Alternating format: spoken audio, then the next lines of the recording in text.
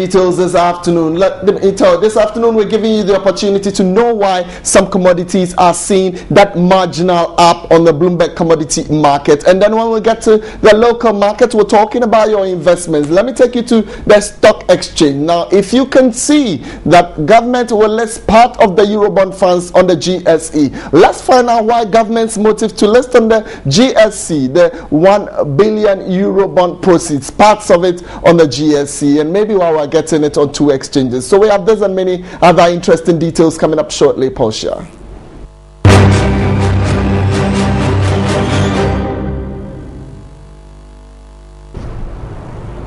My name is Kutaman. Details of our stories this afternoon. Now, listings of the country's second Eurobond will be done on the GSE, that's the Ghana Stock Exchange, next week. Last week, government was credited with 750 million out of the 1 billion it issued last month. Well, the bond is to be listed on two exchanges, the Irish Stock Exchange and the Ghana Stock Exchange. Joining me on the line to deliberate on some of the opportunities on the this particular one is Victor Obeng, Vice President, Frontline Capital. He's in charge of research. Victor, many thanks for joining us on Midday Live. Well, we want to find out from you. This is the first time, well, it's a, a part proceeds from the Eurobond would be listed on the stock exchange. We want to find out from you why the decision and what opportunities would this present?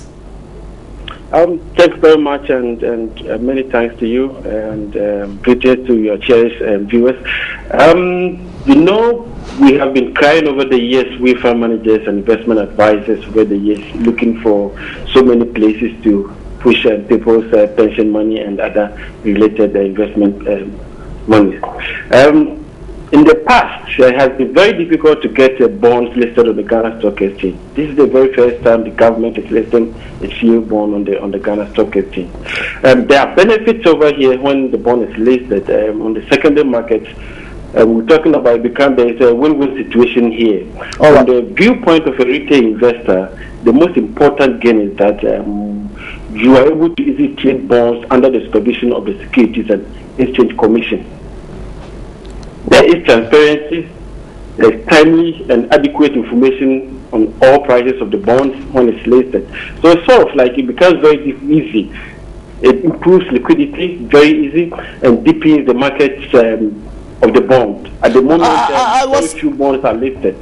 I was coming to the issue of liquidity because for some time now, a lot of people, most business analysts, we've been crying over issues of liquidity on the market. Over 34, just about 34 companies listed on the GSE, and that buoyance is something we're not seeing. Do you see the listing of some of these proceeds from the Eurobond, seeing that surge in liquidity on the market? Exactly, like I said earlier. I mean, we have only 24 uh, listed um, equities. That makes it very difficult when you're looking for a stock, you're not getting it. For bonds, we have just some few government of Ghana five-year bond that's listed. So adding up the euro bond and then hopefully the seven-year, the five-year bond that's going to be issued, it's all going to add up to the liquidity issue that we're talking about and deepen the market and make it easier for people to just trade off the bond whenever they want to trade it. Well, Victor, so we'll see some capital injection there. But let me find out from you, in your opinion as a researcher, could there be any threats at one point in time, or is just a matter of advantages throughout?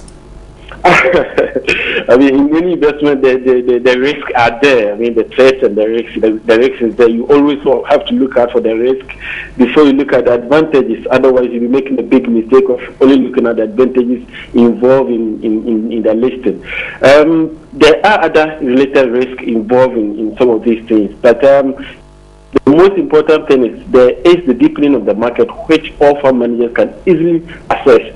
So let's forget about whatever threat or risk it is, and then let's help to develop our capital market. That's most, most important, so that the government itself in the near future can tap into that market back home in Ghana rather than going outside to borrow from from from. Okay, but maybe you might not want to touch on it, but I read around a lot. Maybe let me present this to you: cheaper source of um, um, mobilizing funds do you think that the commercial banks, maybe in and around this time, could suffer a little bit um, to the advantage of maybe the entrepreneur who's looking for cheaper funds?